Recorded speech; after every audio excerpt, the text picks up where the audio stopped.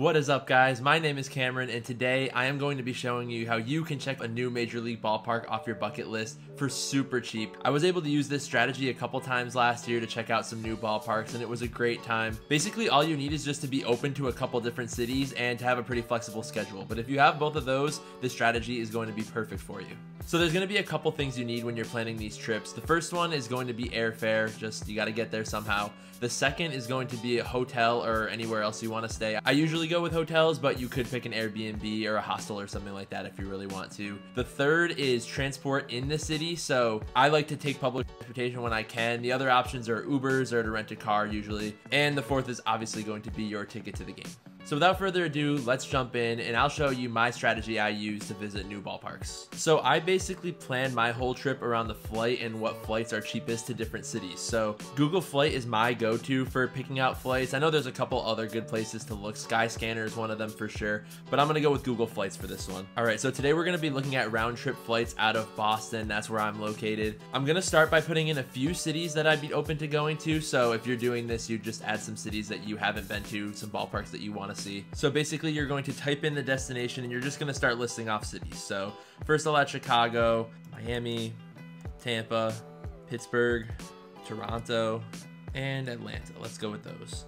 I've been to some of these places, but for the sake of this, I'm just doing ones that are somewhat close to Boston so that the flight prices aren't going to be crazy. Next, you're going to look at the dates. So to do this the cheapest way possible, you're going to want to do one night stays and we'll select one day trips. So here you see the numbers start to pop up. The green is some really cheap flights. So this is round trip numbers. So this is $78 for the cheapest flight. That's really good. So we're gonna jump in and press done. Next, we're gonna add some filters. So this is kind of a preference thing. One thing that I don't like when I'm doing these trips is when I have a layover. So I'm gonna select nonstop.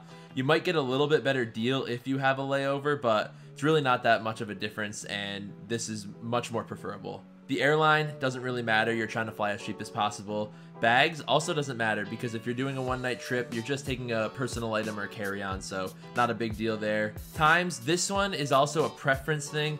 I prefer to take off from my hometown uh, in the AM. So it gives me a little bit of time in the afternoon to do something before the game and kind of explore the city. You can leave this filter untouched though if you're truly looking for the cheapest price. So with all those parameters set, we'll start looking at our dates here. Have to go into April, obviously, because that's when the baseball season starts.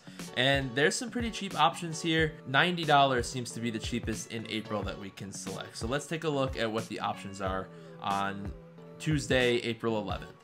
So it looks like the cheapest flight that we have on this date with the parameters we set is a $90 flight from Boston to Chicago nonstop at 6 a.m. So that one seems like a really good deal. Flights to Chicago from Boston are usually more expensive than that. So it looks like we found a good deal here. All right, and then we'll pick the return flight as well. This will be 9 a.m. the next morning, so April 12th. So here's our itinerary. We have a flight from Boston to Chicago, Tuesday, April 1st for $90 round trip. $90 is a great deal as you could see here. So I think we're gonna base the video off this one. Let's head over to book this flight. All right, I'm not gonna fill this out now just for the sake of the video, but when we look at the total due with taxes and fees together, it's a little bit less than $90. It's $89.80. So that's a very good deal to start out. So now that we have our dates, we're gonna have to check the schedule of the teams that play in Chicago, the White Sox and the Cubs. They usually play offsetting schedules, so there's a very good chance that one of these two teams is gonna be in town on this date. Let's check the Cubs first.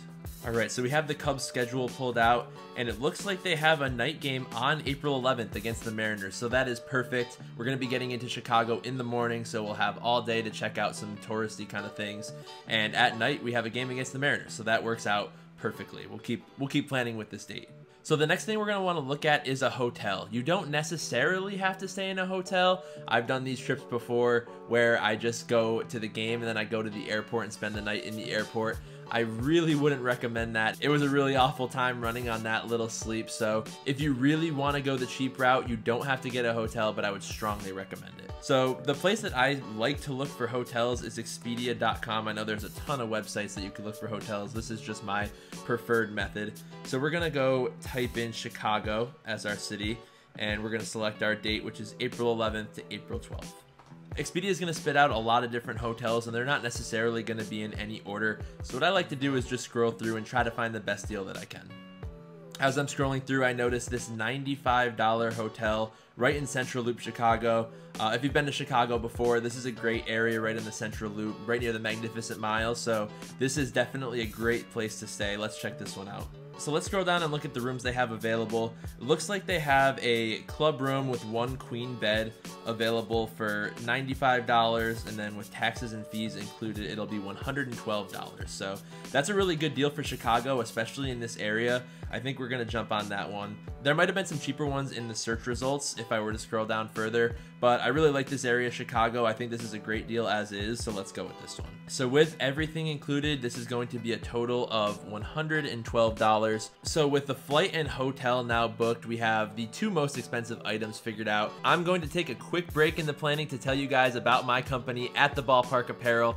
I'm wearing one of the shirts right now. This is the Put It Into Orbit shirt. It's the moon as a baseball. I have some really cool designs that are perfect to wear to baseball games over at my website. You can find the link down below. And I'm to have a whole new line coming out as we get closer to baseball season, so stay tuned for that. If you like any of the shirts, it's the absolute best way to support me, and I'd really appreciate it if you check it out. Let's keep going. Our next thing we have to talk about is travel within the city. There's a lot of different ways you can do this. You could either take public transportation, you could take Ubers, or you could walk if it's a walkable city. My first thought would be to take public transportation if you can in the city. So let's take a look at Chicago's public transportation. It is called the CTA, Chicago Transit Authority. Let's go to their website and see what their fares are looking like. So ideally with these trips, you're gonna be here for 24 hours or less. So you could try to look for 24 hour day passes for these public transportation services.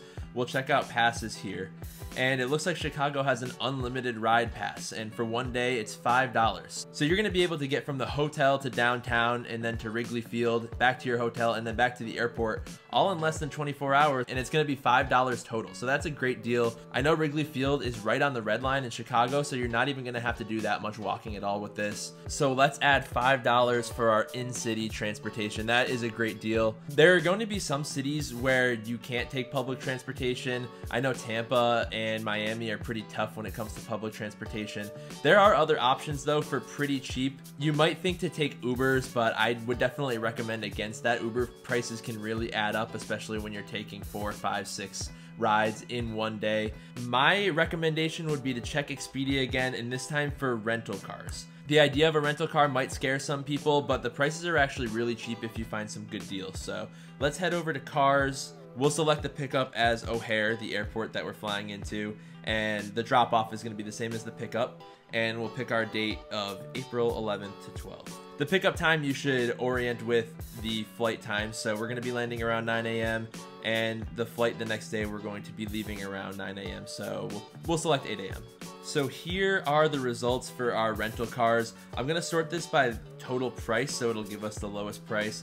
And it looks like this first result is the one. So it's gonna be $35 total for the 24 hours that you have the car, which is a pretty good deal. I was always under the assumption that rental cars were much more expensive than this, but they're really not all that bad, especially if you're going to a place like Florida or something like that. They can be really cheap. So that is definitely an option I would recommend over taking Ubers or ride shares. All right, now the final thing we need to check off our list for this trip is tickets to the game. I don't have one ticket website that I always go to for tickets. I tend to check a couple before I go to a game. The first one I like to look at is StubHub. So let's take a look there. For our search, we'll just type in Cubs Mariners. That's the matchup that we're going to be seeing and scroll down to April 11th. If you're going by yourself on this trip, just select one ticket. This advice is pretty specific to Wrigley Field. If I were you planning a trip to this ballpark, I would definitely try to sit in the bleachers. It's an awesome experience. So that's where we'll look for a ticket. You could buy this $9 one. This is the cheapest ticket in the park, but I think for the sake of Wrigley Field, we're gonna buy a bleacher ticket. So here it says $17 for a general admission bleacher ticket. This is before fees on StubHub, remember, so we're gonna have to go through and figure out what the price would be after fees. So I just had to type in a ridiculous amount of information to get the final number, but it looks like after fees, it's going to be $27. So we'll check a couple other websites and see if they can give us a bleacher ticket for less than $27.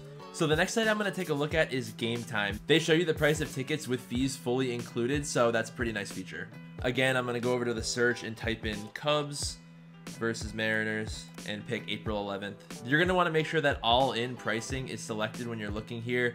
And it looks like the cheapest ticket in the bleachers with everything included is $28. So $1 more than StubHub. So for right now, we're going to stick with StubHub. I'm going to try one more place though. The next one I like to check is called TickPick. They also show you prices with the fees fully included, which again is a nice feature. Once again, I'll search Cubs, Mariners, and here's our game. So we're gonna make sure we select one ticket and we're gonna scroll down until we see the bleachers section. So here we go. We found a general admission bleacher ticket for $25 all in. So that is the cheapest we were able to find. You see zero service fees on TickPick, which is pretty nice. So this is the deal that we're going to be going with, a $25 ticket on TickPick. Again, if we go back, there's probably some cheaper options if we sort by price. Yeah, see, this one is $13 all in, but just for the sake, again, of Wrigley Field, we're going to go with the bleacher ticket. Trust me on that one. All right, so that is basically everything we need. Obviously, you're to need some food, but that's kind of up to you. You can go really cheap with it. You can go to fast food places or something like that, or you can go to nicer restaurants. It's really up to you, and that's definitely more of a personal preference. I'm not to include that here just because that is totally your choice to make. We got all of our main things figured out, and the total price comes in at $231.80 which I think is an absolutely great deal for a trip to see a new Major League ballpark, especially if you're flying. Obviously, we didn't do this the cheapest possible way. Again, you could avoid staying in a hotel room, though I'd highly recommend against it. And you could have picked a cheaper ticket, but all in all, I think this is a great price to pay for the experience you're to get in Chicago. We also picked a flight that was early in the morning, so you're to have all afternoon to check out some of the touristy things in Chicago as well. The hotel that we picked is right next to Millennium Park, which has the Bean in Chicago, so that's one thing you can do right away. And this entire area of Chicago is a great place to walk around and sightsee as well. Keep in mind if we picked another city, some of the things would change. Not every city has perfect public transport that'll take you from the airport and then to the ballpark.